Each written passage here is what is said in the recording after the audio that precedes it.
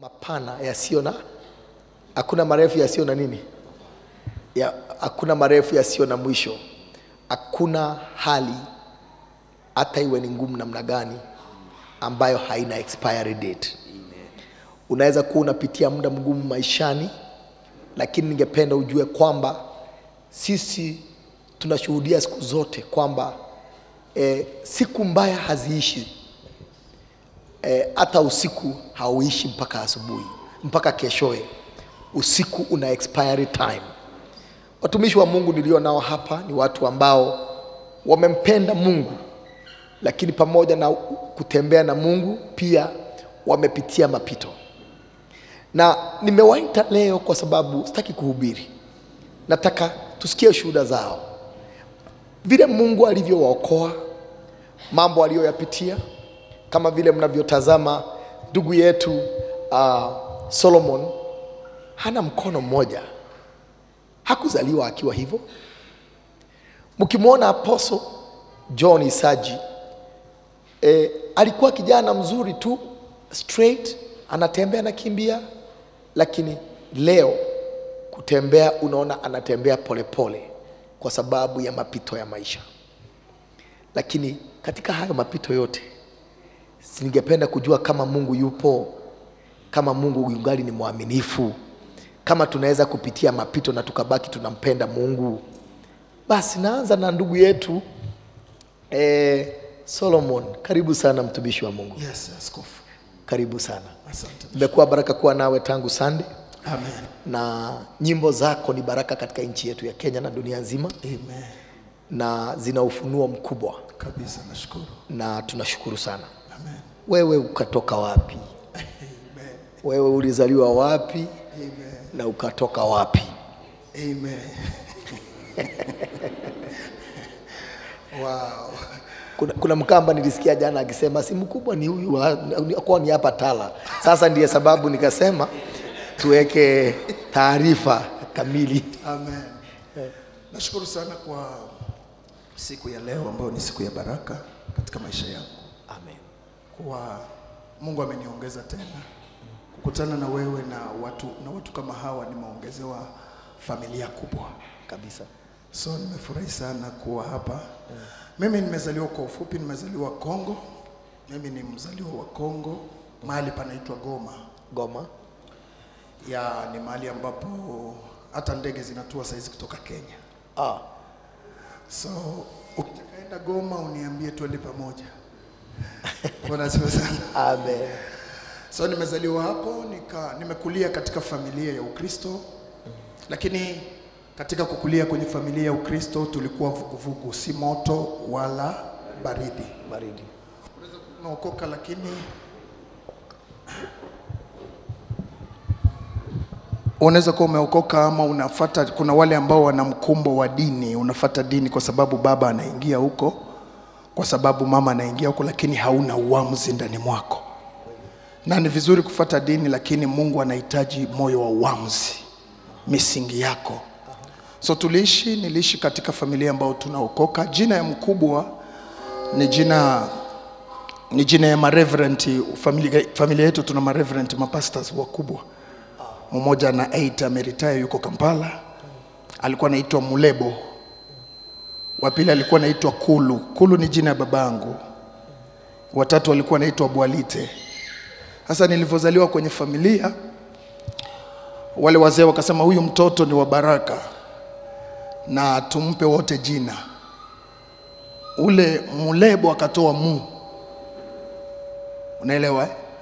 huyo kulu akatoa ku, ule bwalite akatoa bwa ikawa mkubwa.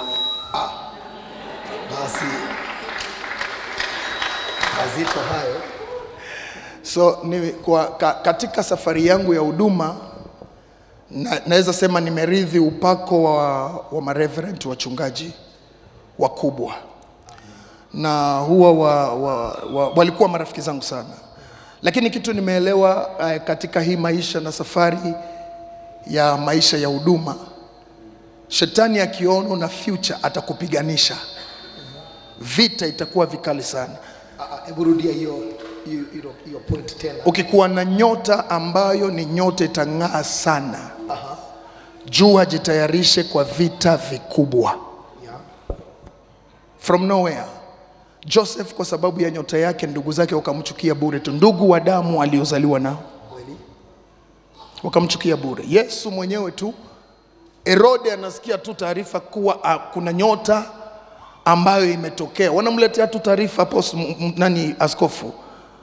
Wanamwambia tumeona nyota na hiyo nyota siyo ya kawaida Kawaida.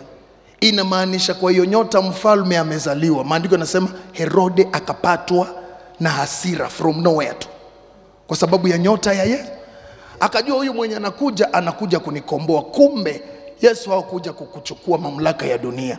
Alikuja kunikomboa mimi na wewe katika mateso ya giza kwenye pombe kwenye uasherati kwenye fitina kwenye chuki. Hiyo ndio ilikuwa mishoni ya yesu kutukomboa. Herode akashikwa na hasira. So mtu yeyote wa nyota una vita. Upende usipende. Sasa kwa hiyo point unajua nisipochunga nitahubiri. Nisipojichunga nisipojichunga nitahubiri e, nyota. Wakati ambapo una nyota, nyota itakayong'aa, unapitia mapito yasiyo ya kawaida, unapita unapita mambo ambayo ni mazito, lakini hebu tueleze. Ya katika, katika kuzaliwa nikazaliwa kwenye familia nilianza imba na miaka minane kanisani mtoto mdogo tu. Sababu nimekulia kwa mazingira ya madhabahu tu. Na babangu ni mwimbaji. Na katika familia yetu tuna waimbaji wengi. Tukisema tufanye praise and worship inaweza katikisa dunia. Lakini nashukuru sababu mimi ndio bwana nilisaidia akaniteua kuwa nabii wa mataifa. Amen. na ninamshukuru Bwana. Wengine wote wanabakianga kuniona view sasa, hata kama wanaimbanga, lakini kwa familia wamebakia kuniona view sasa.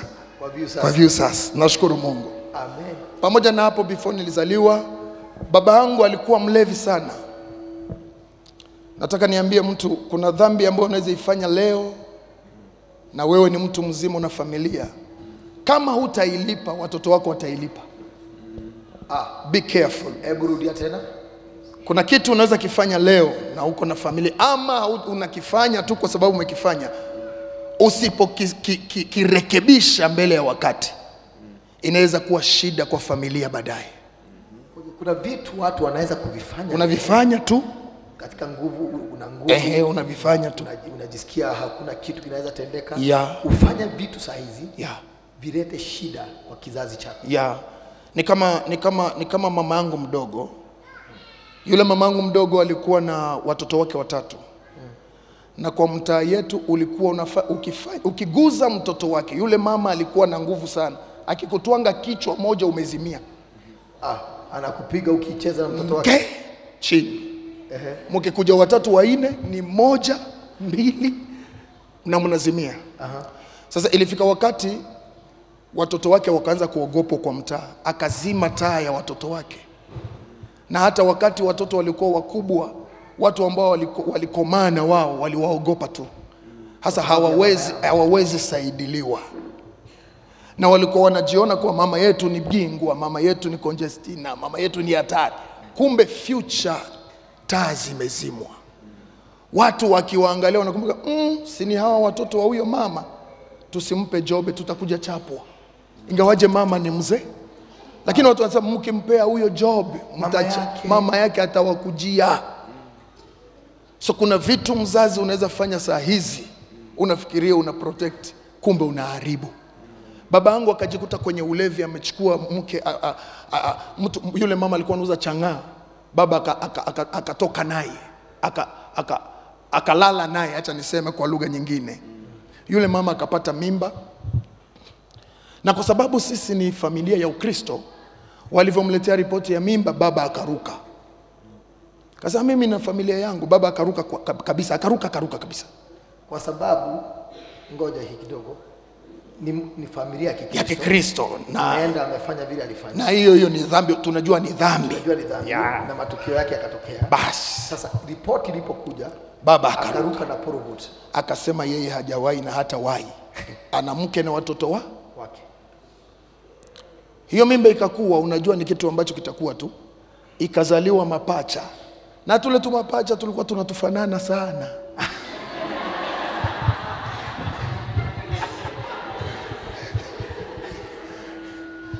Walivyoleta ripoti ya, mati, ya, ya, ya, ya, ya hospitali baba akaruka akamwambia mimi niliwaambia toka mwanzo sijui hawa. Lakini ukiangalia watoi ni sisi tu. Wanaume tuwe ni hange tuwe na angali angalisho. Hiyo familia ikasema hamna, hamna shida hamna shida. Bahati mbaya mtoto mmoja alipokuwa na miaka mitatu mmoja akahaga wakaleta matanga kwa baba. Baba akamwambia nilioyoambia nini? Akachukua panga movie ya nigeria. Wale walioleta taarifa akamwambia nisiwaone hapa. Wakatoka mbio. Familia ya kwa ule mama wakazika wakapeleka mtoto wakazika kwa mazishi sasa wakizika babu ya yule mtoto akaongea akasema mjukuu wangu uende salama but hautaenda mwenyewe. Hutaenda mwenyewe. Ndio maana nataka kuambia mtu jioni ya leo ni hatari sana mguu moja ndani ya kanisa na ingine, na ingine nje. Kaa ndani ya yesu mzima mzima kaa ndani ya yesu ukienea wewe wote. Sisi tulikaa tuna, walipotoka kwa mazishi unajua watu wote wanakujaka tu nyumbani. Wakakuja wengine wakamwambia mam, wakamwambia mam, unajua kuna kitu imetendeka kwa, mata, kwa mazishi. Na mambo imeongelewa mazito wameongea abcd familia ilipopata hiyo taarifa sisi tukajua ah, tuna nguvu akikuja kwa ngumi tutawatwanga kumbe wenzetu wameandaa vita ya kiroho ambayo haionekanagi so sio kila mtu atakwambia utaona na uichukulie kirahisi. Ukiambiwa utaona na unaona anayekwambia utaona ni mnyonge jua kuna mbinu nyingine atatumia. Na we ujipange sawa sawa. Neno ya utaona ni neno ngumu sana. Mkristo ukiambiwa utaona anza jipanga kwa maombi leta sacrifice kanisani ikuprotect na madhabahu. Sisi tulikuwa tujui tunajua tu kama ah, si wameongea. Tukikutana nao barabarani tutatuangana tu. Inaishia hapo. Baada ya wiki moja wamezika wiki ya pili msichana ambaye alikuwa ananifuata waine maanake mimi ni wa kwanza kwa familia. Waine akaharisha tu na kutapika siku mbili akaaga. Wa miaka tisa. Tukazi sisi tukajua ni kawaida tu tumesahau maneno tuli, waliongea. Unajua shida yako ni kusahau. Unaweza ambiwa kitu unasaha. kumbe sasa tumeanza vita katika ulimwengu wa roho. Tukazika. Mimi nilikuwa natoka shuleni nilikuwa ka darasa la pili primary. Tunacheza tu watoto vile tunachezaka tu watoto tunaangushana kwenye nyasi hivi. Nilivyofika nyumbani nikasikia mkono inauma kumbe nimedungwa mshale already. Mshale hebu eleza vizuri. Mshale kati ya ulimwengu wa giza Aha. katika ulimwengu wa roho. Ikafika saa tatu ya usiku nikaambia mama nasikia mkono ina inauma. Mama kaniambia wewe unakuanga mkorofi wewe unachezanga sana. Akanipakapaka tu vitu za ku karuma. e, karuma nikapakwa hapo. Ai ilivyofika saa nane ya usiku sikulalanga siku hiyo mkono ikasumbua tukaamka asubuhi singeweza enda shule. Mkono imeanza fura. Tukaenda hospitali wakaniweka kwa wakanitest mkono. Mkono iko daktari akasema mkono iko sawa hatujui nini? In four days mkono ikakuwa mkubwa hivi ya mtoto wa miaka kumi na miwili. Imefura. Sisi tunajua ah, ni kawaida tu. Kumbe vita ilianza kitambo lakini mungu alikuwa anajua kuwa siku moja nitakujaka hapa nitoe testimony ndio maana hawangeweza kunimaliza. Ndio maana nataka kuambia leo hutamaliz, hutamalizwa na yeyote mpaka ahadi za mungu zitimie katika maisha yako. Tena wataona na macho. Amen. Mm. tukaenda hospitali. Wacha nikwambie shetani akikuandama amekuandama kweli so mkono ilikuwa imefura tukaenda hospitali dokta akasema lazima wafanye upasuaji watoe mkono kwa hii maji ya, ya dawa. Sababu mkono ilikuwa imeanza kuoza unaoza na uko mzima. Unasikia maumivu mpaka maumivu hauliangi tena machozi ilishaka kauka.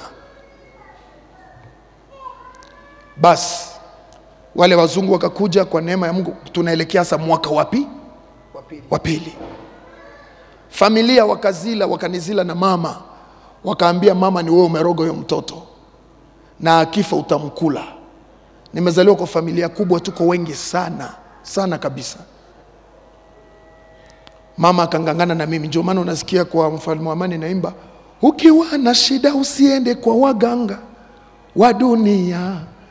Ni kwa sababu siku moja mama kwa kutafuta uponyaji wangu ilibidi tuende kwa mganga. Hasa wamemwambia huyu mtoto akifa na wewe unaku nakufa tukaenda kwa mganga.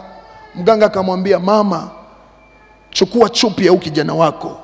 Mpeleke saa nane za usiku baharini. Si kwa mto kwa ba bahari. kwa bahari. Maanake kwetu kuna bahari kubwa. Kamata chupi yake uizike chini ya jiwe ya bahari, ndani ya maji baharini chini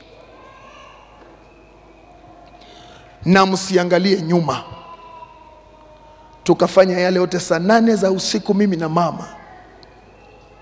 Baharini mama anafanya yale masharti alipewa na mga mganga. Na mganga.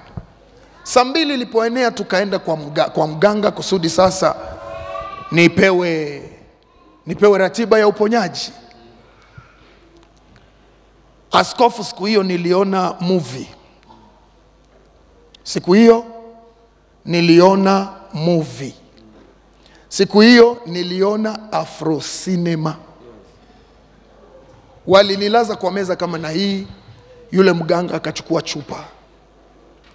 Akachukua chupa ndani mna vipu, vitu za upuuzi upuuzi tu. Akasema hiyo chupa ataiweka hapa. Mimi nipumue tu hamna shida.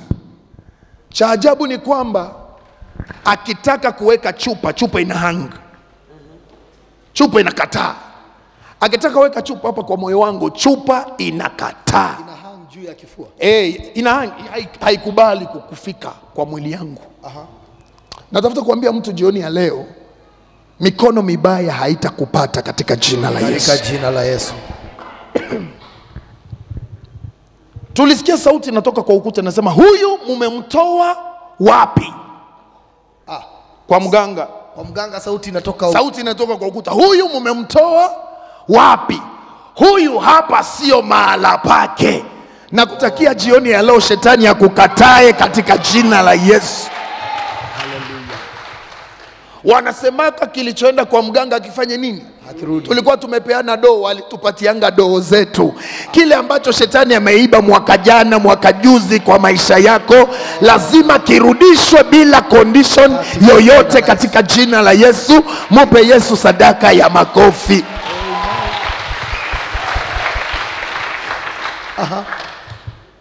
ndiposa tum, sasa tumekataliwa kwa mganga. Tutaenda wapi sasa? Na remember tuko familia ya ki ya kikristo bwana asifiwe sana. Amen. Ndio sasa roho mtakatifu akatuambia oh mumezunguka sana. Kama vile mungu aliambiaka israeli huu mlima mumeuzunguka sana. Ndiposa idea zikausi tumeokoka lakini. Ndio tukakumbuka tukasema ah, ni kama yale maneno yako yanafanya ka? Kazi. Ilibidi ni tuanze maombi. Nashukuru mungu sababu mimi nilikuwa wa kwanza kukimbia kwenye maombi. Nikaanza kufunga na kuomba na niko na 13 years. Mimi mwenyewe nikaanza pigana vita. Nilikuwa hospitali na mi naombaka. Yaani nikakuja jikutana naanzanga tu maombi niko kwa kitanda naambia mungu utanitoa hapa lazima nikuimbie duniani nikushuhudie duniani. Najua utanitoa hapa tu. Nikiwa mtoto mdogo naambia mungu najua utanitoanga hapa na nitakushuhudianga. Amen. Kumbe mungu anasikiaka maombi. Wacha nikwambie mungu ananga benki ya kuweka maombi. Lazima maombi yako unayoomba kuna siku itakuja na itafanya kazi katika maisha yako. jina la Yesu. That's why naambia watu omba, omba asubuhi, omba jioni, omba mchana, wakati wote omba. Hiyo maombi haikufe bure. Maombi inaendanga kama kama nuclear. Ukiombea mtu Marekani, hiyo maombi inaenda Aha. na itafanya kazi huko. Yes. Haijalishi itafanya wiki nzima, iko inaenda tu. Aha. Wewe omba, ng'ang'ana na kuomba, utasikia, utapata testimony ya hiyo maombi. Amen. Tukakaa bwana akanisaidia akanikomboa. Mkono madaktari wakaamua wakasema hii mkono ni kukatwa tu sababu iliharibishwa. Familia wakasaini kila kitu mkono ikakatwa. Hapo sasa ndio nikapata majanga ya kuishi bila kiungo. Na ndio nikaelewa watu ambao hawana viungo usimchezee sababu akili yake inakuwaka na shida.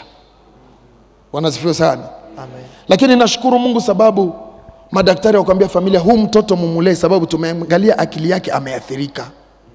Hayuko saa sababu nilikuwa naonaga wenzangu ambao tuliku, tuliku, tulikuwa na wao. Ukiniona mi naanza lia mi najua unanicheka tu. Naona ukiniona nasikia machu Machungu. machungu. Sasa kitu ambacho kitanisaidia ni kwamba kipindi kile mungu hawezi kuacha kama uko kwenye mpango wake yaani mungu atatumia mbinu zote atakuokoa. Kwa kila njia yoyote yenye unafikiria mungu hawezi tokelezea atatokelezea na atakuokoa kwenye mikono yoyote ile. Amina. mungu akaona huyu mtoto siwezi nimpoteze huyu ni future ya injili duniani. Kipindi kile nilikuwa naanza nikisimama kuimba makanisani mungu aka, akanipa mafuta. Kijana wa miaka kumi na tano nasimama kuimba nikianza kuimba im, eh, eh, remember hapo sichezi niko mwombaji naomba sana. Nilikuwa naimba kama hamjatoa sadaka church mjue nitaenda na zote. Mtanitolea zote nikiimba. Sababu mafuta ilikuwa makubwa. Sasa mungu akaanza hiyo hiyo jambo kwangu lakini shetani naye akakuja nipiga hapo mkinitolea sadaka ya upendo mumebarikiwa shetani anakuja ananiambia unaona wanakutolea sababu wewe ni mlemavu umekuonea huruma. Nikitoka hapo mi naenda lia mi nasema mungu kama ulinikata mkono juu watu wanionee huruma. Ukishindwa niua mi nitajiua. Tena sasa shetani amekuja upande mwingine. kuja upande mwingine. anakupiga sasa katika roho yako, katika mawazo Kabisa. yako, kukuvunja moyo. kunivunja moyo. Yaani kile kitu tendo jema ambayo watu wa mungu wako wanafanya shetani anakigeuza kwangu mbaya. Na ninakaa mimi naanza chukia watu. Hata kama nikiimba unaleta pesa mimi nakuona mimi nakuchukia kwa sababu unamwona huyu anakuona naona huyu anani- huyu ananidharau. Yaani shetani ni mwongo. Pale ambapo unafikiria unateseka haujateseka. Bado yesu yupo na wewe na atakuokoa usijinyonge wala kujiua bure msaada bado upo na adui lazima atapata aibu. Hata kama farao atakushikilia miaka ngapi mwisho wa siku farao atakwambia ondoka. Aha. sijui kama umepata hiyo. Hata kama watakushikilia miaka nenda. Ipo siku. Watasema "Ah, ah, tumechoka. Tumwache huyu sasa. Na huo muda unafika kwa mtu hapa unaenda timia kwa mtu hapa. Unaenda achiliwa sasa. Nikakaa hasira zikaanza nikaanza ambia mungu lazima nitalipiza kisasi kwa huyu mama aliyenifanya. Sababu waliongeaka sasa. Wakaongea wakajua saizi tunawatandika. Si mlijiona tunawatandi Tunawatandika. ya. Na mimi nikaanza sema nitalipiza kisasi. Remember pale nimegombana na moyo wangu sana roho ya kujiua inakuja juu sababu najiona mi naji, na, najidharau najihisi sifai. Huku mungu anapambana na mimi kunifanya taifa kubwa.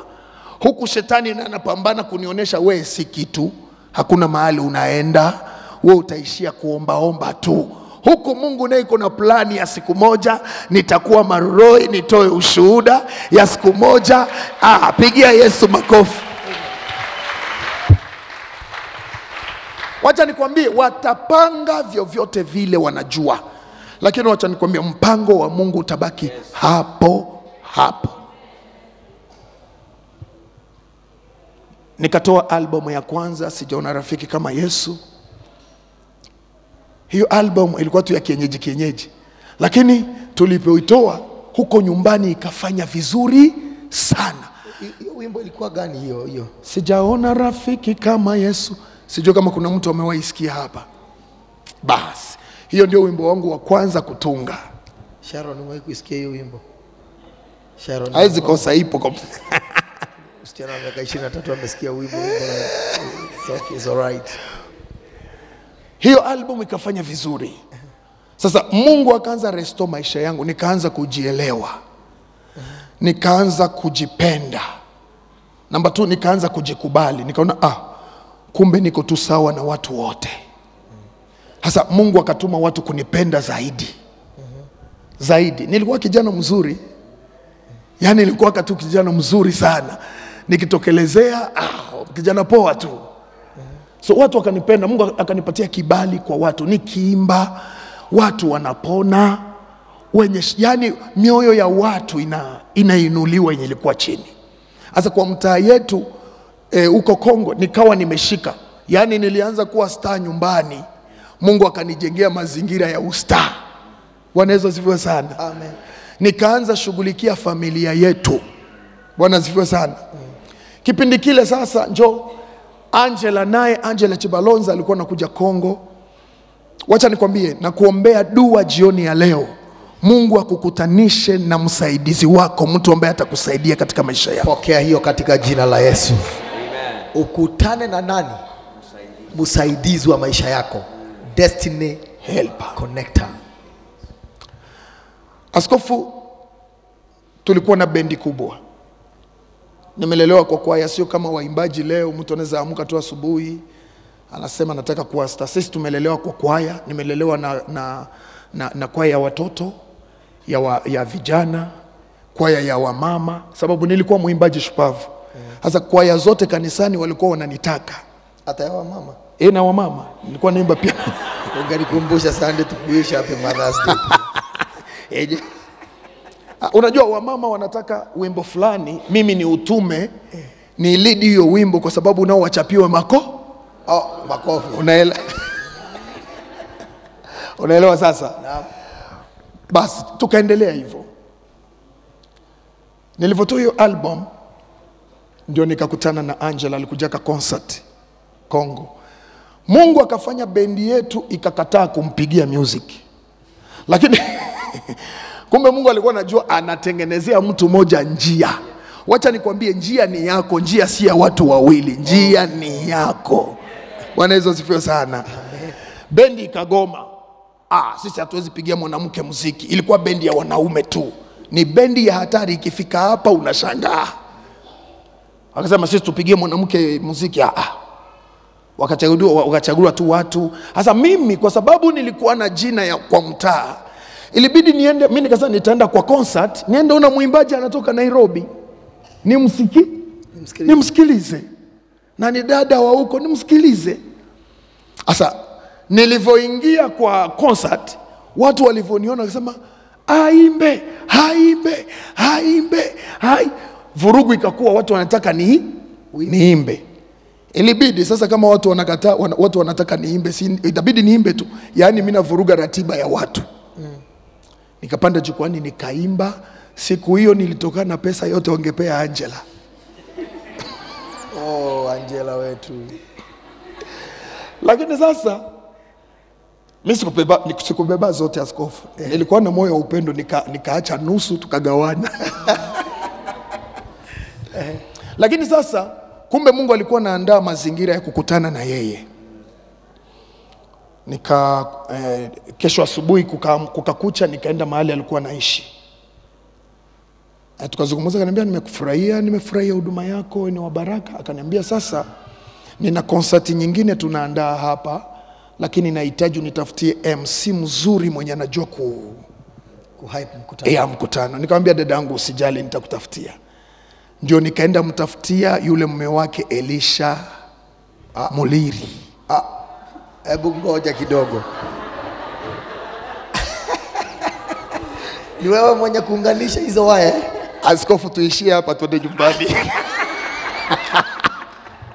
Mambo mazuri haya ni mimi niliunganisha hiyo kitu.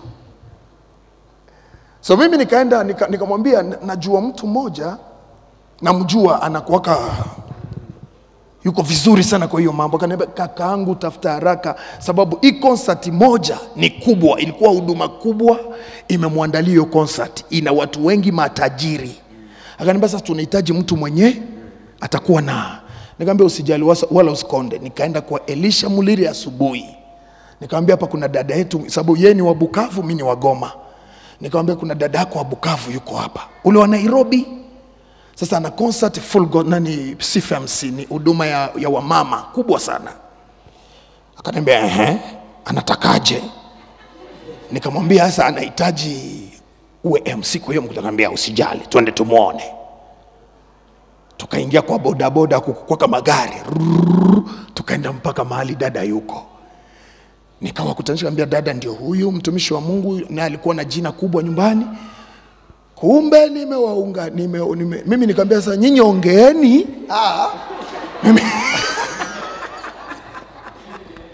Oh my. Nyinyi ongeeni mtanipa ratiba ya concert mi narudi home. Basi ikawa hivyo na ikawa na hivyo na ikawa na hivyo na ikawa mungu akupatie mtu wako katika jina la yesu kristo nazareti. So ukiunganishwa na mtu eh, unganika. Shida yako ni kujifanya sana na mtu ameletwa na mungu na umeunganishwa na mtu mwingine. Akikupiga smile cheka kabisa. Hiyo mambo iishi hapo. Asante. So kwa ufupi ni kwamba kwa my story sasa nikawa na hasira bwana akaniambia solomon nataka nikufanye taifa kubwa msamehe aliyekukosea. Na hapo ndio shida. Nilihudumu lakini nilikuwa na, bid- na, na chuki nilikuwa na hasira. Mi najua one day utalipisha kizazi huyu kwa yule mama, eh, kabisa lazima. Mm -hmm. mungu naye ndiye nani akaniambia ebu soma kit, sala ya baba yetu uliye mbinguni.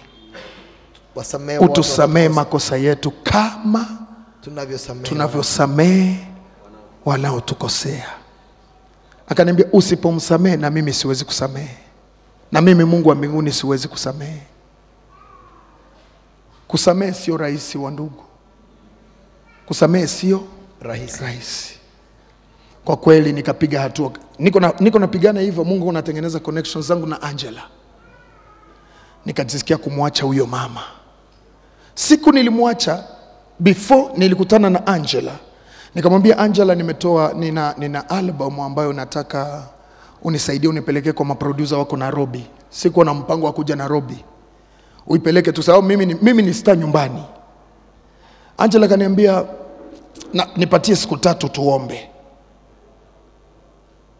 Kwa hiyo siku tatu ya maombi, na mimi Mungu niko napigana huku nisamee Kumbe kila mtu katika ulimwengu wa roho huku niko napigana nisamee. Kumbe hiyo msamaha, wakati nilirelease ile siku ya tatu kumwacha huyo mama, Mungu akaingia kwa Angela. Angela akakuja nipatia, sababu aliniambianga Solomon, nitakupea jibu yoyote. Kama sijisikie kuja, usiseme mimi ni mbaya, sababu hapa tunaenda na mambo ya roho. mm-hmm. Nitaingia maombi, kile ambacho nitakwambia. Na mimi nikamwambia usijali, hamna shida. Swala langu sikujua Nairobi, mimi niko vizuri niko sawa after hiyo siku tatu akakuja kanilimpelekeaka maziwa na mayai. Unajua inabidi kuchokozanga mafuta, usikuwe na kujanga tu kwa macho ya, ya mchungaji mikono mitupu. Wanasifiwa sana. Nakumbuka hiyo siku nilipelekanga maziwa na, na mayai na mkate nikamletea, wakiwa na mume wake Elisha kwa hoteli. Ndio akaniambia nimehisi ndani mwangu kuja Nairobi, naona nyota yako itang'aa Nairobi. amen Akaniambia tena naona Kenya ndio ita, uta, uta, uta, ita, utapepea bendera ya Kenya Nairobi. Ah, mi nikashindwa kupepea, nitabeba bendera kiaje? Akaniambia utaelewa baadaye. Nimeona bendera ya Kenya umeishika hapa na inapepe inapepea basi nikaanza kuja akaku- akakuja hapa kwake nikakuja hapa kwake ndio sasa nikapokelewa na kina apostle john isaji. Kwa basi pale. Kwa basi. Hapo tea room. Hapo tea. Nikapokelewa kwa basi hapo. Aha. nikamkuta angela ndio sasa amebeba amechukua ujauzito wa huu binti yake aliacha nikamkuta hakuna mfanyakazi kwa nyumba. Naam. Nimeingia kwa nyumba hakuna mfanyakazi. Ilibidi nianze fanya kazi za, za nyumba for four month naosha nyumba. Wamempatia bed rest. Asipande hata stairs. Daktari alimwambia kama unataka kuzaa angela bed rest. Usishuke stairs wala kupanda. Sasa nyumbani mfanyakazi hayupo. Nairobi west hapo mi njo nimejikutana nyumbani kijana ameingia nyumbani. Wacha nikwambie kwa kila kiwango cha kuinuliwa na mungu kuna gharama zake utalipia. Hebu rudia hapo tena. Kwa kila kiwango cha kuinuliwa kwa maisha yako kuna gharama utalipia. Upende usipende. So wale watu ambao ukwepa kulipia gharama ni vigumu wafikie viwango, ni vigumu kufikia viwango fulani ni vigumu. Tofauti ya shetani na mungu ni kwamba shetani anakupatiaka anakupatiaka na right. Anaficha fimbo na mkono wa left. Ukipokea tu ndio anakuonyesha fimbo. Lakini sisi kwa mungu mungu anakupeanga tu lakini anakufunza step by step. Bwana yesu asifiwe sana. Unaenda na mungu viwango hadi viwango. Na maandiko yanasema baraka za mungu hutajirisha na wala hazina majuto. Aha. lakini wote walienda kwa shetani ni kilio. Usiangalie mavieti zinatembea. Kuna watu wanalia humo ndani. Ni kweli. Mwangalie jirani umwambie gojea za mungu usiangalie za wengine. Gojea za mungu zingoje za wengine. Na za mungu huwa zinakaa. Zinakawia bishop. Za so mungu. sasa miezi nne mwimbaji aliyekuwa mtajika kongo amerudi nairobi nimekuja nairobi. pa eh, bendera yake kuonekana anaosha nyumba. Nikaanza kuosha. Si eti ile kuosha nyumba niliambiwa hapana. Ni ile nilifika tu nikaona ah lazima nianze fanya kazi sababu hamna mfanyaka kumbe na mimi niko naandikisha tabia njema. Bwana asifiwe sana. Sababu kuna watu walikuwa walishaniharibia jina kwa angela sasa angela akanipokea kwa sababu ya neno alilolipata kutoka kwa mungu lakini akamwambia huyo ni mba ni mbaya sana huyo sasa kumbe Angela yuko kama goalkeeper kwangu, iko naangalia ubaya utaanzia wapi, na mimi nimekuja vile nilivyo tu, nikaanza kazi tu. Wacha nikwambie, kuwa jinsi ulivyo. Aha. Fanya vitu zako jinsi ulivyo. Aha. Adui atapata aibu tu. hebu yes. nikuulize mchungaji kawia hapo kidogo e, wakati ambapo unakuja nairobi mm. kuna roho mwingine ambaye ametuma neno likutangulie nairobi Lilikuwa limenitangulia kabisa. Tena mtu wangu wa karibu alikuwa Kampala ndiye mwenye kukuharibia jina na alikuwa pia kumbe walikuwa pamoja na Angela, mtu wa karibu sana kwa hiyo familia. Wakati aliposikia Angela anamwambia ninaita Solomon anakuja, akamwambia "Ya, cha, cha, cha, cha, cha, mwache cha, mtu huyo kisirani ya mtu cha, cha, cha, cha, cha." Wapendwa, naomba nisimame hapo kidogo. Wakati wowote una nyota kubwa, watu watainuliwa na shetani wa kukuongea, na wengi wa watu watakao kuongea vibaya ni watu ambao ni wakaribu sana na wewe, na hata ukiuliza nalimfanyia nini huyu, ubaya wangu kwake ulitoka wapi, hautaweza kujua. Shida si wewe. Saa zingine unaweza kaa ukajilaumu, ukajiuliza kwa nini uh, watu wale wakaongea vile. Shida si wewe. Hii chuki yote Herode ako nayo na Yesu na wajakuta Yesu hata ni kuzaliwa amezaliwa ako katika Mm, holi la ng'ombe. Hebu imagine kamtoto hata kanajikojolea kanavalishwa pampas, lakini kuna mfalme mzima hapati usingizi kwa ubaya rohoni. wengine wenu wakati mwingi mnajiuliza kwani nilimfanya nini tulipokuwa tunaongea na uh, ndugu solomon pale kwa ofisi nikamwambia hivi kuna viwango mungu akitaka kukuinua watu wengine anawaondoa maishani. Eh, unajiuliza eh, kwa nini huyu mtu nilimfanya nini? Nilifanya huyu nini? Tulikuwa sawa tu. Tulikuwa sawa tu tulikuwa naendelea vizuri. Asubuhi moja ameamka tu. Aujui kabisa hata ukiulizwa yeye anaamka tu anasema huyu ni mbaya. Jana alikuwa na unajua mimi kama mchungaji nimeyaona haya vya kutosha. Mlisikia juzi nikisema nimechoka na watu wa kuniita dadii kwa sababu ananiitanga dadi na rungu akiona upande mwingine ya kunimaliza. Anita dadi leo, kesho unasikia mtu unamwona, mnaanzanga kwa kuexit church group. Ulikuwa una comment sasa una left. Una, una left. Alikuwa anafikiria huyu ndugu tunafanya naye kazi nzuri. Una left ana left kwanza. Alafu unampigia simu ashiki tena. Alafu anaulizwa ni nini? Ah, mimi sioni. Eh, amekwasika. Yani anaanza kuongea kama pepo la kutoka kuzimu. Shida sio wewe. Wakati mwingine watu wakikuacha shida si wewe. Shida ni wao hawawezi wakaenda kiwango hicho kingine na wewe. Na kuna pepo imewaonyesha nyota yako wangapi wamei kuachwa? Marafiki rafiki alikuwa wa karibu hata mkiwa wadogo. Bora kidogo tu uliponunuliwa viatu mpya akaanza kukuangalia vibaya. Ushaiona kitu kama hiyo? Akaanza kuwa shuleni. Shu, kama hujawahi pitia mambo kama hiyo omba mungu akupitishe ndio ujue vile wanadamu huwa. Ati uliponunua kagari tu kuna mabeste wanaondoka maishani. Ulipopata kazi watu wanaondoka maishani. Ndivyo ilivyo katika maisha. So mtu ambaye wa karibu anatanguliza maneno Kabisa. kwa Angela kwamba wewe ni mbaya Kabisa. so Mungu anatengeneza njia Kabisa. Angela anakosa uwezo wa kutembea tembea Yeah. ndio ajue wewe ni mzuri Kab- kabisa na ikawa hivyo mm. Pastor John alikuwa anakuja nyumbani, tuko hapo.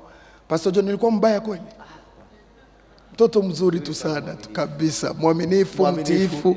Anaosha imagine star, lakini wengine wakaanza kuja, star mzima anakaa kwa sta anaosha nyumba, toka hapo ajitafutie nyumba. Angela ananiambia solo, nikikuja mimi naambia Angela, mimi naona mina mama naona mina minachoka anaambia solomon usifatane na maneno ya watu. Nyota yako itang'aa hapa. Wengine chini. wengine walimuita mwanamke. Ya. Yes. Simi naosha nyumba napika anaosha paka hata anatengeneza kila kitu anaosha anafua nguo. Nafua. Unafua nguo na mkono mmoja? Yeah. tueleze vizuri. Hiyo ndio maswali wanajiuliza katika roho zao. Ah, bwana unajua wakati hacha nikwambie hata kidole kimoja kikipotea kwa mkono wako utakuwa tu na ujuzi wa kuandika Yeah. mungu ata create kitu ufahamu mwingine. Aha. utajikuta tu unaandikanga tu vizuri tu na unazoea. Ndio ndio hivyo. Makofi kwa yesu jameni. Tumejibiwa. so tukawa hivyo angela kazidi kunitia moyo. Mimi huku presha ya watu shetani anaandaa watu wake. Matusi. Matusi. Hata wale wenye wako wanasimamaka naye kwa bendi. Sasa mimi nikawa angela hawezi piga concert bila mimi. Sababu kuna vile tulikuwa tumepatana sasa kwa uimbaji. Hasa wao wengine nao wivu.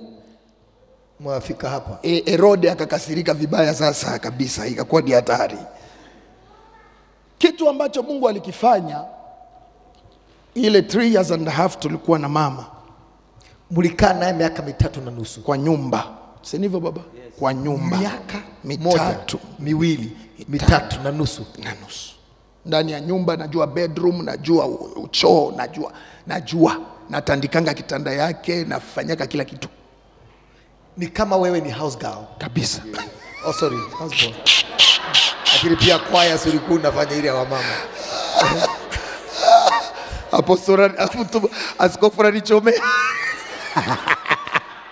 Mupe Yesu sadaka ya makofi.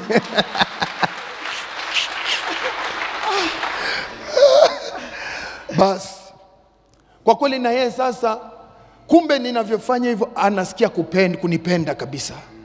Ndio sasa upendo ukadumu kabisa sababu nilivyotoa albamu ya video ya sijaona rafiki kama yesu wenye waliifata anaongea akiwa na mjamzito sana. Alikuwa anaongea sasa ananipresent kwa kenya ah. iko na nipresent kwa watu. Huyu ni mtu- mtumishi wa mungu anaongea. Sasa alikuwa amechoka. Ndio madei zenye zenye alikuwa anaenda jifungua sasa. Akaongea amechoka kabisa kwa kiti. Akini present. After one week akajifungua. Wow. akajifungua. Mimi akaniambia tu solomon mungu akubariki. Ndio akaitisha mfanyakazi musa kutoka kongo kukuja kufanya kazi hapa. Ndio mimi sasa nikapumzika baada ya miaka mitatu. Baada ya miaka mitatu. Haukulalama? Hapana. Mi niliona tu ni raha nasikia vizuri. Lakini kitu alikuwa ananiambia tu mungu akubariki na nyota yako ingae. Amen. Na kuna mahali hapo kwa hiyo video eh, Angela akaniita -hmm. niko na kijana wangu. Huyu Solomo anataka kufanya video, naomba mumsaidie. hata yeye yuko ndani tu. Ah. hey, ana dance Sasa mumsaidie, anataka dancers. so ulikuwa dancer? Me- hiyo video ni lazima tuitafute jamani ukawa dancer pale. Ukawa dancer. Tukaenda pale Uhuru Park. Eh, kuna mashati akawa ameenda ametafuta zingine wapi mashati za kufanana. Uh, za Kongo Eh, kitenge labda. Kit- ki- kikomba tuzoea kikomba Ikomba tukaenda pale penye Uhuru Park hapo mbele ya Serena, so hapo tukapatana tukafanya mazoezi kidogo hapo, tukatoa video. Video. tukatoa video. hebu niulize kuna jambo ulilolisema ningependa kulirudia? Watu walikuja wakakwambia hapa unafanya kazi bure hapa hauheshimiki wewe una nyota kubwa na unafanya kazi za nyumba na wewe ni star. na wewe ni star tu kama huyo. Ehe. yaani kuna watu ambao watataka kwa kukimbize kwa baraka zako. Mtu anakuja anakuambia unakaa chini ya askofu na wewe ni mhubiri na wewe unaweza ubiri. Tuliza bole uwanja ni mdogo. Kaa chini tu neema itakubeba polepole bwana yesu asifiwe sana. naomba niseme hili nyote mnaonisikiza leo. Ah, ni vema kuwa na hekima. Yeah. mtu akija akwambie chukia mtu fulani. Jiulize kama una akili ama unabebewa akili. Yenyewe. Unajua, jinsi ya kujua wewe ni bongo lala ni wakati ambako unabebewa bongo. Unawekwa unawekewa. E, unakuja unaambiwa kwamba e, wewe uko kwa Chibalonza, wewe ni nyota kubwa, lakini huyu anakupatia kazi za nyumba kwa sababu e, aoni nyota yako. Watu wengi walizimwa nyota zao hivyo, ingawaje zilikuwa nyota zingeng'aa, walinyimwa kung'aa nyota zao kwa sababu ya kuharakishwa na wengine, wakiambiwa kwamba nyota zao ni nzuri. Nawaomba iweni wenye hekima. Iweni wenye hekima. Nimeona nimekuwa na wana wengi, wengine ni bongo lala. Unaangalia unaona, huyu si nilikuwa naona anavaa vizuri huyu, lakini bongo lala, bongo lala, alibebewa akili, anabebewa akili. Unakuja unaambiwa yule ni adui, yule si mzuri, haujui ubaya wake wewe, ujui yule alitumwa na shetani akuondoe katika nyota yako, akuunplug mahali pana uzima wako. Baadaye, baada ya miaka miwili mitatu minne, unakuja unagundua nyota yako ilienda. ilizima kitambo, ikapatiwa mwingine ambaye ni mwaminifu. na baba askofu mtu anaweza sema nyota inarudia nyota inakufaka. Sababu malaika asingelimwambia yusufu joseph chukua mtoto umhepeshe sababu anatauliwa operation ya kuua, ya kuua watoto herode aliyoipanga ilikuwa ni hiyo hiyo siku. Malaika akamwambia joseph chukua mtoto na mama yake mkimbilie wapi? Misri. Wangeng'ang'anaka yesu angeuliwaka. Na nyota ingezima, na nyota ingezima. So be careful.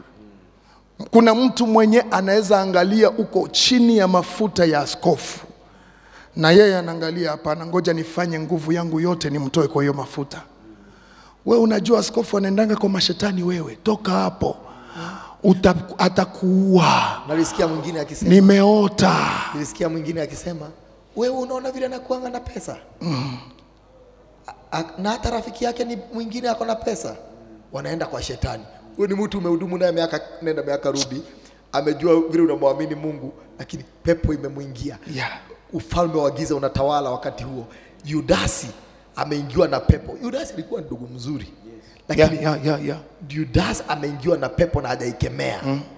na Biblia inasema kwamba uovu unakuja una, unakuvizia ni lazima upinge yesu akamwambia mabaya yako mlangoni judas e. na sheri tupigane na hiyo mabaya sharti tupigane nayo. Watu wa Mungu, maneno haya tunayoyaongea ni maneno ya ufunuo usiku wa leo. Kuna vitu vinaweza kuzima taa yako. U, Mungu anapokuunganisha na mtumishi ambaye anabeba mafuta. Sasa kwake Solomon aliyekuwa amebeba mafuta yake Ni Angela. Angela. Ndiye alikuwa askofu wake, ndiye aliyekuwa priest wake. Badala ya aje ampeleke mikutano, amuintroduce, anamuingiza, anaingia, anakuta hitaji huyo mwenye alikuja amsaidie ndiye anahitaji msaada. mm. Wakati mwingi Mungu ndio akubariki, atakupeleka mahali ambapo utatumika wewe. kabisa Usiende mahali ndio upate vyeo. Usiwahi enda kanisani ndio upate cheo chochote. Usiende kanisani ndio utambulike. Ukikutana na nabii wa Mungu, unachokihitaji kwake sio madhabahu, ni neno. Neno tu. Nasema neno tu. So hebu na, naomba kwa sababu ya muda tumalize interview kwa sasa ama tuendelee kidogo? Tuendelee ama tumalize? Sasa mkakutana na Angela. Angela amekuja eh, eh, eh, najua hapo kuna mahali ambapo hatutapata kwa sababu ningependa kwa dakika tano nisikie kutoka kwa apostle. Yeye sasa amekuchukua, amekuja, umefanya huduma, umecheza ukiwa dancer boy, alafu sasa siku moja eh, Angela mmekuwa naye, alafu mkaenda huduma mkatoka mkaenda huduma Egerton University. Tupe, tupe uhondo. Ah, nashukuru sana askofu uh, kwa mwaliko huu mm. hata kwa wale ambao tunawabariki usiku wa leo. Amen. E, Najua Mungu ana makusudi e, na kazi ambayo tunaifanya saa hii. Inaweza nikasema ya kwamba in fact ni kwa mara ya kwanza mm. tunaongea sisi wawili tukiwahudumia watu. Wow. Tangu tumefanya kazi pamoja na marehemu pia Angela, hatujawahi kuongea kuhusu maisha yetu na utumishi mm. na mahali ambapo Mungu ametutoa na mahali ambapo tupo. mm -hmm. Kwa hivyo ninaweza nikasema kikao hiki ni cha kiungu, Amen. kikao hiki ni kitakatifu. Praise God. Amen. Uh, mimi nimekuwa mtumishi kanisani miaka mingi na labda sitaanzia kule nimezaliwa nije hivi kwa sababu ya muda mm. lakini kabla hata nije Nairobi na niingie kwenye huduma tena nipatane na Angela. Angela nilipatana naye kwa njia sawa na mtumishi wa Mungu, maana alikuwa anakuja kuhudumu kule Kakamega na anakuja ma conference. Sasa na mimi nilikuwa dansa kanisani kule so wakati ule anakuja yes, wakati ule anakuja kuhudumu kama vile Solomon anahudumu hapa, sisi tunanyakua madhabahu, tunakuja nyuma yake na tunaanza kudansi. So papo hapo akatu notice. Na akasema mfanye bidii muje Nairobi. Nairobi wanaogopa kudance. So hivyo hivyo urafiki ukaendelea na nika, wakati nilikuja hapa kujoin university nikamtafuta akiwa anahudumu eh, pamoja na Apostle Mukadi wa Mukadi. mm -hmm. so nikajiunga na na yeye pale na nikamwambia niko ready kuserve nikusaidie wapi so akaniambia ingia kwenye kikundi changu tafuta kitu unaweza ukafanya so nikawa pale nikawa kama eh, mimi ni spanner boy mm-hmm. leta waya mm-hmm. leta cable, mm-hmm. beba spika mm-hmm. panguza hapa osha hapa nilikuwa nasikia tu raha mm-hmm. naridhika na nafurahi mm-hmm. so eh, wakati walikuja wakafanya harusi akaolewa akapotea kwa muda eh, fulani alafu wakafungua huduma tukakuja tukapatana kwamba wamerudi Kenya wamefungua huduma mm-hmm. na mimi basi nilikuwa kule kwa askofu Mukadi nikamwambia na mimi unipe ruhusa hapa sitakaa mm-hmm. unirelease niende kwa yule aliyeniintroduce hapa niende nimsupport mm-hmm. Na hapo mzee Mukadi akaturelease tukaenda kufanya huduma naye so mliomba ruhusa ya kuondoka? Tuliomba ruhusa. Amkuenda kama umetoka kwa choo usiku? Mm-mm. no. wala hatukupotea tu atuone kwa picha kwamba tuko huko. Asante. Tuliomba ruhusa na tukamwambia hii ndio sababu. Kuna point hiyo kichwa yako imeshika hapo? Nauliza kuna point umepata hapo? Okay tuendelee. Asante. So tukiwa pale tuna hudumu tungeliweza hata kurudi kwa mashauri. Ah, maana unaweza enda na kinaumana okay mlikuwa mnarudi kwa mukadi wa mukadi. Yes. Kumpata mashauri. Mashauri. Vile mnapaswa kuendelea. Yes. so kuondoka kwa kanisa haipaswi kuwa uadui. Haipaswi kuwa uadui maana unaweza ondoka na kumbe kuna vitu haujavifahamu. Kwa hivyo ni vizuri kuondoka vizuri maana utarudi wakati mmoja kutafuta backup. Ungepiga makofi like, nasikia kupiga lakini kwa sababu nimeshika microphone wewe piga natumai umepata hiyo point. Nani amekwambia ukitoka kanisani lazima utoke kwa fujo? Nani amekwambia ukitoka kanisani lazima uzimie mchungaji simu? Nani amekwambia ukitoka kanisani lazima u, u- uache furujo fu, fu, furu, fu, fujo? Vurugu. Vu, vuru, Yes. ningeita furugu. Nani angekuambia hivyo nani alikuambia hivyo? Kwa sababu kutokwako kunaweza kurudi huo ku- yes unaweza kurudi mahali ulifanya nini mm.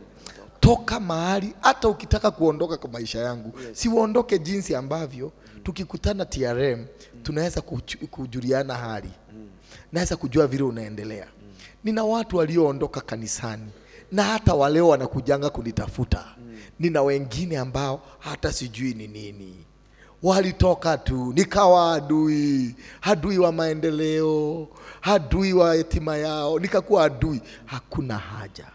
Ikiwa ulitoka kanisani yoyote si na, lazima nairobi grace chapel. Yes.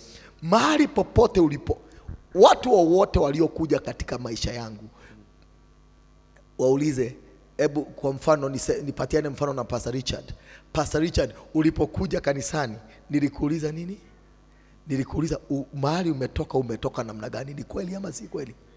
Na ukanieleza vile umetoka. Alafu nikakwambia nini? Rudi.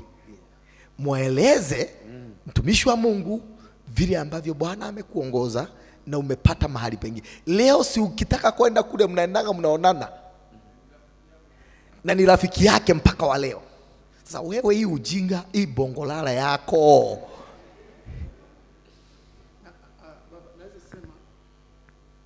kuna vile watu lazima wafunzwe. So unaona hata mimi wakati nilitoka huko nilikuja na barua ya kanisa yetu. Kanisa yetu ni dini kubwa kama Redeemed. Mm-hmm. Ndio Redeemed ya huko. Mm-hmm. Waliandika barua nikaileta. Yaani nilikujenga kanisani kwa mliri na barua na barua ipo. Mm-hmm. Sikutoka vile unafikiria. Maana kuna watu wengi hapa vitu zao hazifunguke kwa sababu mwamvuli ulikuwa nayo ndio ilikuanga yako. Mm. ukatoka umeipiga. Ndio maana unaendelea kuangaika huko tu kama popo. Huko tunaangaika so tengeneza ukitoka mahali hakikisha mnaweza mkasalimiana. Wanaweza wakakukaribisha kwa nyumba. Usitoke umekosana na watu. Usibangi mlango. Yeah, ukitoka kwa mlango usibangi. Kabisa. Mnanisikia watu wa mungu? Wangapi wananisikia jioni ya leo hata wale mnaotuangalia kwa facebook naomba hili neno liingie ndani ya moyo wako usiondoke mahali pa kiroho hata kama ukomai hata kama ubarikiwi hata kama unasikia muda wako umeisha mahali pale kuna njia ya kuondoka yeah. Nilipoondoka katika kanisa la Redeemed Gospel Church, nilikuwa chini ya mchungaji askofu anaitwa Kinywa Meru. Niliondoka na wakanifanyia karamu. Wow. I am I think I'm the only pastor in that church minister who left nikiwa nimefanyiwa party Wow. na nilikuwa na sababu zote za kubangi hiyo mlango. Hata wa leo nikirudi pale wananiitanga man of God, they call me MOG. Wow. Nikaja Komarok Redeemed Gospel Church under Bishop Kivevo. Nilipotoka pale niliendelea kuhudumu Morning Glory kwa, kwa at my own cost kwa mwaka mmoja na nusu zaidi, na wakati huo nahubiri hapa kando hapa, sina chochote, singehama Kayole. Kwa sababu gani? Nilikuwa na majukumu pale ambayo nilikuwa na mpaka nikaachia vizuri, na hata saa hizi nikitoka hapa nikipitia huko naenda kusalimiana pale kanisani, wakiniona tunafurahiana. Aliyekufundisha kutokanga mahali ovyo ovyo ni nani? Kutoka na vita. Yaani lazima maisha yako yamejaa vita tu kila mahali, ukitoka ni vita jameni, hata mahali hapahitaji vita. Hamna haja ya vita. Hiyo point unajua, hiyo point nasikia kukaa hapo kwa sababu hiyo point nimekuwa nikijiuliza. Umekaa chini yangu miaka mbili, miaka tano, miaka kumi, nimekuwa nikikuombea siku zote, nimekuwa nikikubariki wewe umekuwa ukileta sadaka zako na fungu zako za kumi, alafu siku ya kuondoka udelete, ufinye delete button ya baraka zote kwa sababu ya vile ambavyo umeondoka. Ina haja gani? Si ni kukosa mahesabu jameni? Si ni kukosa hekima? Mwambie jirani yako tuwe watu wenye hekima. Sio lazima ubangi mlango hizo siku zote. Ndiye sababu Yesu akauliza, na siku zote si nilikuwa nahubiri katikati yenu huku? Tuendelee, mtumishi wa Mungu. Nasikia nasikia kuhubiri, lakini wacha ni nishikilia hapo. Asante. So eh, wakati nilipatiwa ruhusa hmm, akaniambia nenda umsaidie, maana yule pia ni mtoto wetu wa hapa eh, maana yule ni mtoto wetu wa hapa, enda umsaidie, mfanye kazi ya Mungu, maana kazi ya Mungu haina mipaka. Yes. So nikaenda pale nikaendelea kufanya ile kazi, so nikawa nimeenda driving school. Sasa nimekuwa dereva na nimesha graduate from, eh, high, eh, from college. So nikawa ninaweza kumwendesha, akipata nafasi ya kwenda kuhudumu mahali, ninakuwa dereva, nampeleka mikutano na namrejesha. Ah, pale pale pia nikapata idea ya kibiashara maana naweza nikaongea na mtu yote mwenye yako hapa pia pata idea. Ukiwa kanisani pia pata idea, maana idea ndio utajiri. Aha. Rudia hiyo tena. Popote ambapo umekaa, hata vile tumekaa hivi, kuna idea nyingi sana za biashara, Aha. hata ukiwa kanisani, maana idea ndio utajiri wa mwanadamu. Idea ndio utajiri wa mwanadamu. Yes. Aha. So nikapata idea, tunaenda mikutano na Angela na hakuna picha inachukuliwa, hakuna video inachukuliwa. Hizo nyakati hakukuwa na simu za kupiga picha wala za kurekod. So nikapata idea ya kwamba wacha ninunue kamera na ninunue kompyuta na niweke kwa nyumba. Tukienda mikutano, nachukua video, nachukua picha, alafu namtumia kwa gharama yangu. Alafu wengine wanasikia hiyo anasema na ndio oh, ndio oh, oh, mimi mimi nitumie So nikatumana kamera Dubai na nikanunua kompyuta nikaweka kwa nyumba, nikatumana printer na nikaweka kwa nyumba. Sasa tunaenda mikutano, mimi nimeendesha gari, nimeshaiegeza pale. Wakati wao wanaweka kwenye protocol, mimi nataka nakaa kule nyumba eh, kule nyuma. Wakati anaitwa madhabauni, nachomoka na kamera nachukua video, nachukua video mkutano wote, namaliza, naweka kwenye gari, nafika nyumbani, namtumia clips,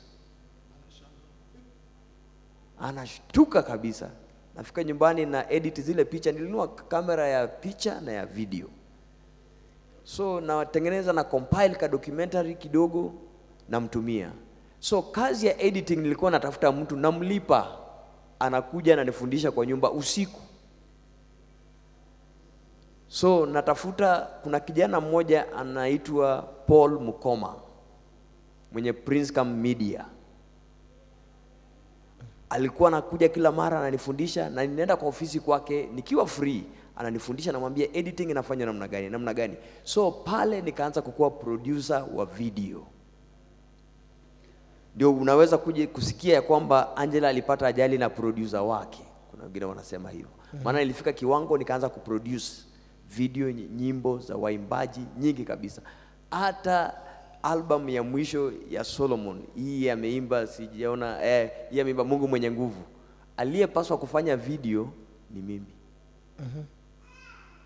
ilitokana na idea ilitokana na ukaanzia kupanda mbegu kwa hiyo idea nikaanza kupanda mbegu kwa hiyo idea. ikawa ndio m- mlango wako umeshafunguka ikawa ndio mlango wangu umeshafunguka sasa ikawa uh -huh. safari zake zote siwezi achwa sasa mnaenda Egerton sasa safari ikawa imetokea ya kwenda Egerton uh -huh. wakati huo Solomon alikuwa ameenda Kampala ah, kurekodi Mungu, Mungu mwenye, nguvu, nguvu. Aha. Lakini angelipatikana tu pia tena katika hii kisanga. Sasa Mungu, maana hakuwa pia naye anaachwa. Mungu ni mwaminifu kwa sababu Amen. sasa mkono mmoja ndio huu ulienda kule kwingine. Sasa halafu ajihusisha Mungu akapeleka Kampala. eh, sote ku, sisi kuwa hai hapa kuna makusudi ya Mungu. Amen. So tukiwa safari ya kwenda Egerton, mimi nimeenda Egerton asubuhi, nimepeleka waimbaji, nimepeleka bendi, niko kule nafanya sound setup na kila kitu, na hiyo yote yes, mlikuwa mmetoka Mombasa concert? Kwa watu wenye wanaona clip ya Ebeneza yes. niko nyuma. Eh, tulikuwa kwa hiyo concert. Na kuna nguo ya orange. Eh, eh, ya, ya, ya, ya, ya white. Mimi navaa suti suti ni kubwa zaidi yangu. yako ni ya white, Angela ni ya orange. ya orange sasa wa- wa Kongo mtatuonyesha Angela siku hizo akarudi na KQ Yes.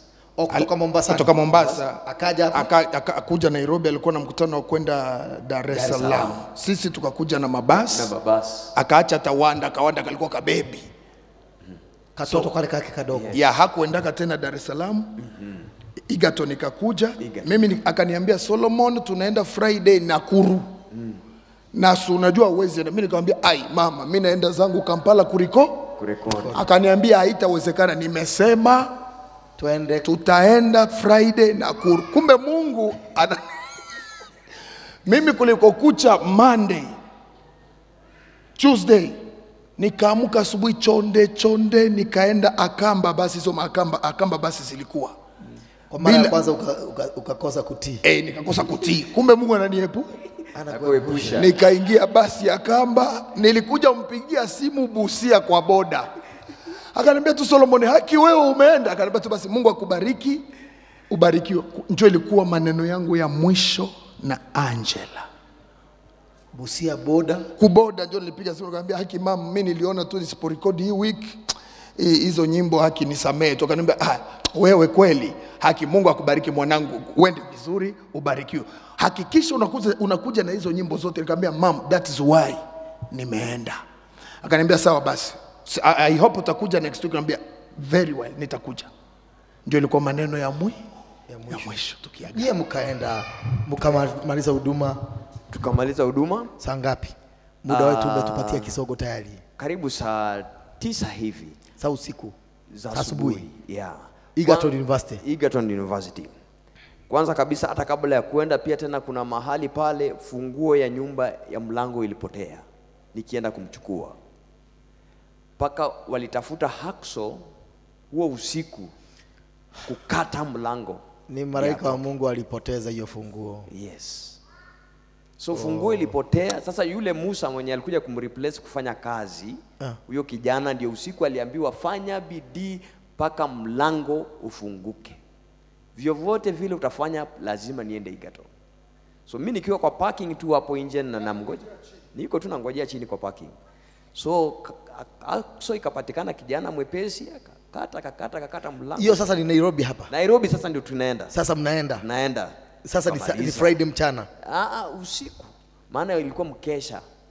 Oso mlitoka hapa saa ngapi? Tulitoka hapa kama saa sita. Saa usiku? Za usiku. Sababu mchana ilibidi waende mchana kukawa wao na watu wa Egerton hakuna mawasiliano. Yes. Sasa mdogo wa Angela akaambia Angela ilibidi tutoke saa tisa mchana. Mm. na John na Isaji hapatikane kwa simu. Yes. Hii safari tunawa tunawaacha, hatuendi tena. Na wakasikizana hatuendi hatuendi. Basi wakarudi home. Walivyo, wakatoka tao wakaenda nairobi kunyumba wakakaa. Ilivyofika saa tano yes. za usiku. Za usiku. Egerton wakafungua simu wakaambia mama usipokuja wanafunzi wamesema watavunja shule kama angela hatokei Yes. sasa wakaanza mawasiliano na yeye sasa ambia mama huku ni hata Huku ni hatari sababu angela alikuwa na moyo wa huruma akabembeleza mume wake akamwambia tafadhali Egerton kukitokea shida juu yangu itakuwa mbaya lakini mume alikuwa anasema sitaki mke, siwezi kukurilizi saa hii. ipo Saa ili- tano za usiku. Yes. ilibidi mwende saa tisa mchana. How comes? Jo sasa yeye akakuja sasa na gari. Na Kutoka ubishi kutoka Egerton. Na ubishi kwa nyumba iko mkubwa mume na mke. Na waimbaji wale nilimeenda nao Egerton wamefichwa. Maana wanataka kupigwa. Wanafunzi wanataka angela. Angela. Wewe ukaja nikaja. Ukamchukua saa tano. Ndio nikamchukua hiyo saa tano saa sita. Mkarudi tena Egerton. Egerton. Mkafika saa ngapi jamani? Mkafika kama saa saba saa nane hapo. So nikamweleza fanya hivi wamekuona sura wamekuona ongea tu maneno mawili turudi kwenye gari maana tuko na ndege ya saa moja ya kwenda Dar es Salaam sasa. Yani haikuwa yani mlitoka hapa saa tano saa usiku. Saa sita saa saba. Saa sita Yes. na, na kesho ya asubuhi ana ndege ya kwenda Dar es Salaam. Yes. so ni mwende tu yes. asalimiane aimbe wimbo moja. atulize bahari na polisi walikuwa wamekuja pale sasa kusiwe na vurugu tena. So mambo isiwe kwenye media kwamba mwimbaji wa nyimbo za injili awaadaa wanafunzi. Sasa muka akaimba Akaimba. aliimba wimbo moja aliimba nyimbo aliimba kabisa. So, unajua mafuta yakishuka majukwani akaimba nyimbo. Mimi niko kwenye gari na nikaangalia muda umepita nikashuka. Nikatoka nikakuja nikamwambia nikaambia sasa yule alikuwa amesimama pale kwenye protocol mshukishe shukisha mama masaa yameisha. So wakati aliniona akasema kwanza wacha niwaombee wokovu. Ilikuwa lazima aite altar call. Every ministry alikuwa anafanya. So akaitisha watu wa kuokoka. Wanafunzi wakaja. Hall ilikuwa bado imejaa hiyo usiku saa nane saa tisa wakaja zaidi wanafunzi kama ishirini akawaombesha ombi ya toba wakaokoka na mara moja nikamgrabu mkono. Kwa gari? Kwa gari. Na nikafunga gari. So wanafunzi wanataka kumwongelesha nikamwambia pana nairobi express. So nikatoa gari. Kutoa gari akaanza kuniambia ah, papa john naona umechoka kweli umefanya kazi. Hii kazi umefanya umechoka pumzika. Kama mimi niko sawa niko macho tutaweza yote. Na wale nilienda nao waimbaji hatuwaoni hatuwajui tumewatafuta wamefichwa kabisa. Hata director wake alikuwa na direct music ni, amefichwa hatujui yuko wapi. So nikwambia tusitafute wengine tuta- tutatafutana kesho. So weenda Dar es Salaam mimi nitatafuta wengine. So nikaanza kuja akaniambia ya kwamba eh, tumeteseka sana unaona saini saa ngapi tutachelewa Nairobi eh, kesho ndege eh, endesha gari kwa kasi sana nisi miss ndege so kufika Nakuru akaniambia mimi naona ah, ah, hivi usaidiwe nikamwambia hapana sitaruhusu dereva mwingine maana kutoka Nakuru kukuja hadi Gilgil ilikuwa diversion hiyo njia ilikuwa inategezwa so mnapita NYS huko mm -hmm. unajipata Gilgil mm -hmm. so nikamwambia nikifika Gilgil nitafikiria kama ninaweza saidiwa so kuna wengine umebeba nyuma Eh, kuna wengine nimebeba nyuma. Nimebeba sasa MC. Juu MC tulitoka naye Nairobi usiku. Nimrod Makori wa Biblia husema. Huyo nimembeba hapo ndani. Na hapo ndani niko na jamaa mmoja mwimbaji anaitwa Ken Watch Huyo pia naye alikuwa na msanii mwenye Angela alikuwa na mentor.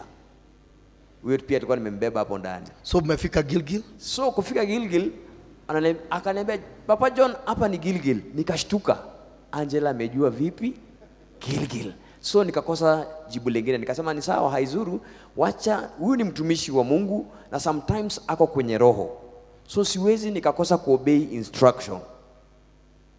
so wacha tu nipeane gari. Nikauliza ule dereva, uko na license? Akaniambia niko nayo.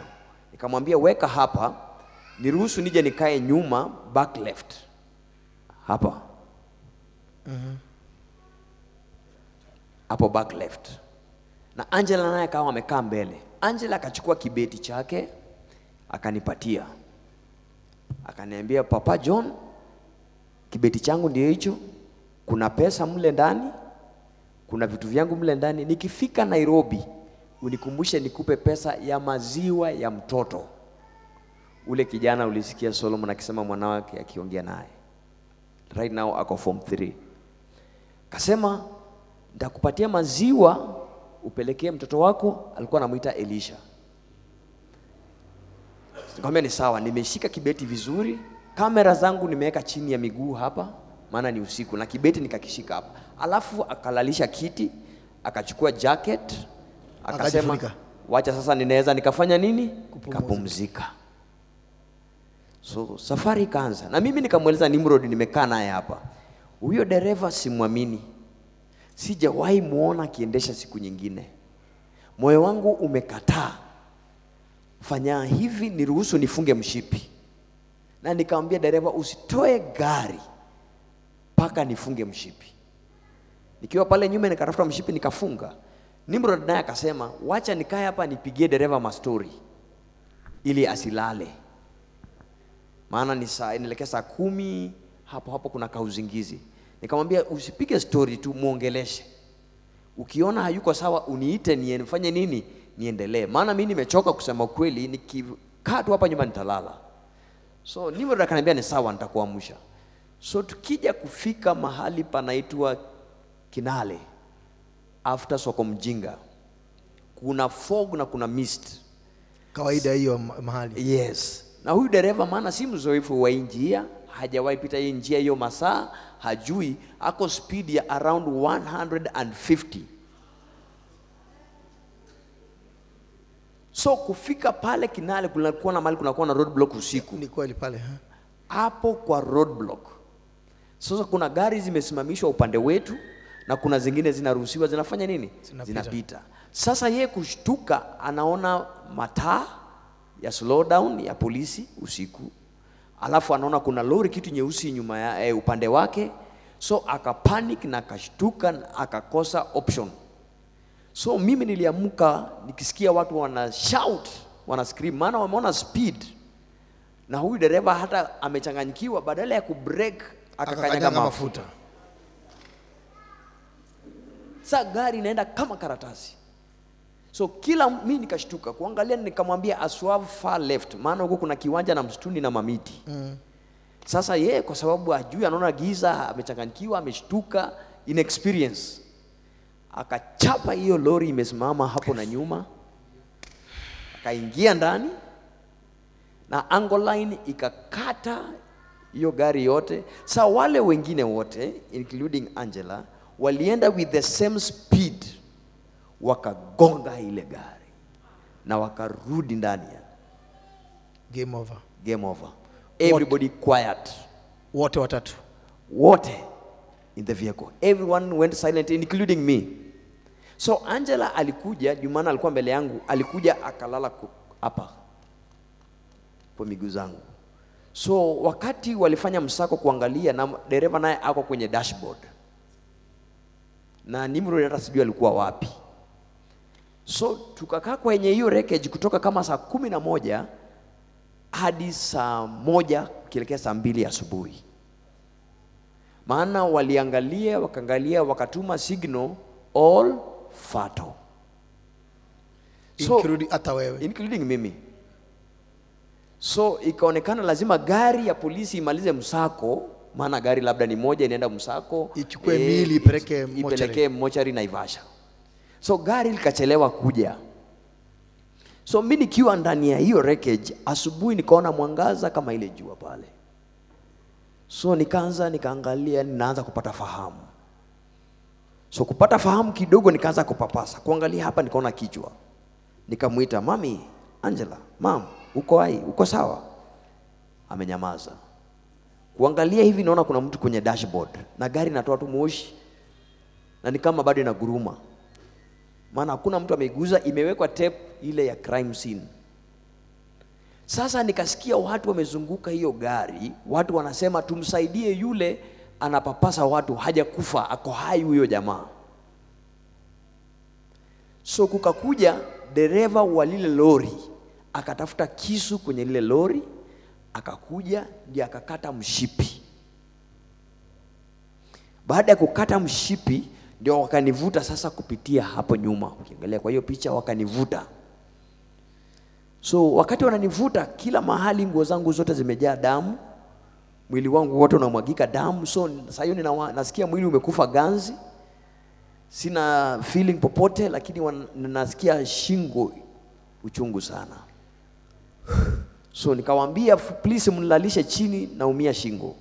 So wakaleta pickup ya askofu mmoja, ninaambiwa alikuwa askofu Palanyo from Naivasha, alikuwa amefika pale wa kwanza, maana kulikuwa na flyers kwenye gari za mwimbaji za album, so watu wakajua ni nani, wanakompea picha, so habari inaanza kuenea kwamba na hawa wanatupigia masimu, wanatutafuta. Sasa hiyo simu haziendi, kuna simu inaenda, so wajui nini kimefanyika. So habari inaanza kuanza, breaking news, wote wamepata ajali na wote wamefanya nini? Wameaga, wote wamefariki. So hapo ndio mimi naokolewa, nikapelekwa hospitali Kijabe. So kufika Kijabe nimechiu blackout, Hapo ndipo likaa miezi sita. Hapo ndio nilikaa, na Mungu akakukomboa. na hapo nikikaa miezi sita nikapatikana niko na fracture kubwa kwenye spinal cord. Fracture inatoka huku inaenda makamali hapa chini, maana ya ile impact, na shingo imeingia ndani, so kila kitu ikawa imeenda, memory imeenda, sensation imeenda, eyesight imeenda, uh, speech imeenda, kila kitu kimeenda, kimekufa. So ni mwili tu huko, unasikia jamaa ni heartbeat bado ingali.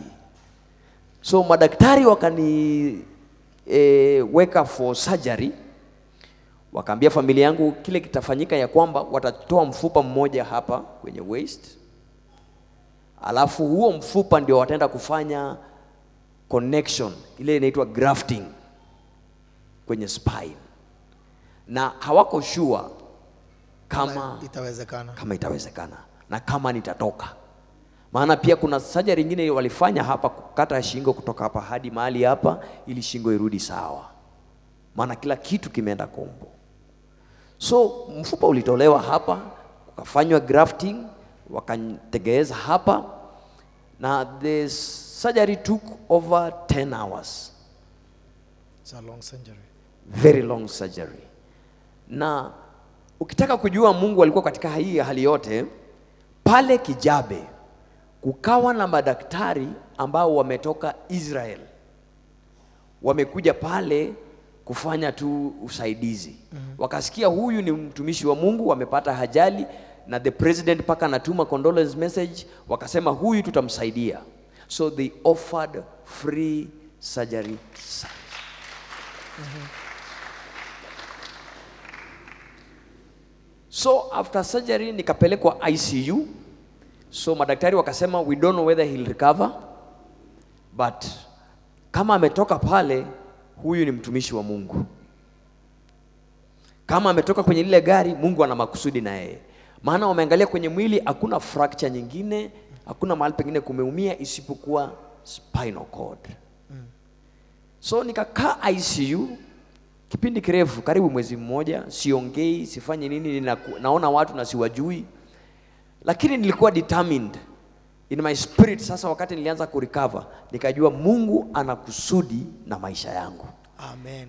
Kama hajeruhusu niende na wale wameenda, bado kuna kusudi maishani. Oh my up, that is where we close this. Hapo ndipo tunapomalizia this interview. Mungu ana makusudi na maisha yako. Usiku wa leo eh, hadithi yako yote iko katika kitabu hichi. Yes, yes. Kitabu hiki kinaitwa The Miracle Accident. Utaona gari lile ambalo walihusika katika ajali na picha ya Angela Chibalonza na aliyefanya forward hichi kitabu si mwingine lakini ni uh, Pastor Solomon Mkubwa ndiye mwenye kuforward hichi kitabu. Tunazo kopi tano, ni ngapi hizi? 1 2 3 4 5 6 7 tuko na kopi saba na kila kopi inauzwa shilingi elfu moja. Basi chukua nakala yako utachukua hii utaenda usome hichi kitabu kitakutia moyo na pia tutakuwa baraka katika huduma ya Apostle John. Naomba tusimame kwa miguu yetu zote. Inua mikono yako, mwambie Mungu asante kwa kuwa wewe ndiwe utupae uzima. Vitu vyote ni wewe unavyovitenda, ni wewe Mungu wa makusudi na majira. Na hakika kama vile tumesikia shuhuda za watumishi hawa wa Mungu, Mungu inawezekana ukaondoa mtu yes. kutoka chini na ukamwinua juu. Unaweza, ku, unaweza kutuondoa katika uso wa mauti, yes. unaweza kutuondoa katika vita vikali yes. na ukatuinua Yes. katika jina la Yesu. Baba, tunakushukuru usiku wa leo Yes. kwa kunena nasi yes. kupitia shuhuda hizi, na tunapoenda Bwana kuondoka mahali hapa, Yes. tunaomba Roho wako atawale mioyo yetu. Asante kwa watumishi hawa wako Yes. uliowatuma kwetu wiki hii, nasi Bwana tumewapokea na neno ambalo wametupatia kwa shukrani Pokea sifa na heshima, na ni kwa jina la Yesu tumeomba na kuamini, amen. Pigia Bwana Yesu makofi mazuri. Basi naomba eh, enda katika mfuko wako, toa sadaka yako, toa sadaka yako nzuri uh, inayopendeza Mungu. Uh, muda umeenda sana, ni dakika kidogo, saa tatu zifike. Hatujawahi kufikisha muda kama huu kwa revival meeting. Uh, kesho will be an anointing service. Kesho tutakuwa tunafanya anointing service uh, na kesho uh, usikose kwa sababu ni vizuri kuwa mtu mwenye kumaanisha. Amen. Basi kama unahitaji bahasha, onyesha Shemazi kwa mkono wako, wataweza kukuhudumia. Kama unahitaji bahasha, onyesha Shemazi kwa mkono wako. Inua sadaka yako, mfalme wa amani na Mungu mwenye nguvu. Sadaka hizi twazitoa kwako kwa shukurani. Naomba Bwana, tunaponyosha mikono yetu kutoa sadaka zetu zikakubalike mbele zako, na asante kwa neema yako ya utoshelezi. Kwa jina la Yesu tumeomba na kuamini, amen. Tutoe kwa furaha. Uh, tunapotoa, naomba niwaletee tangazo hili kwamba kesho nitaweza kuchukua kwetu